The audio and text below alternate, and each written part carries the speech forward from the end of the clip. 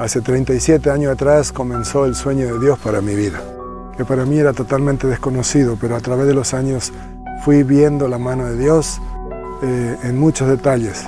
Estoy jubilando, pero yo creo que el sueño de Dios sigue, porque yo quiero seguir sirviendo al Señor hasta que Él diga, ¿no es cierto? Estoy seguro que más de uno me va a venir a saludar y va a decir, usted estuvo en mi casa, por eso estoy acá, ¿no?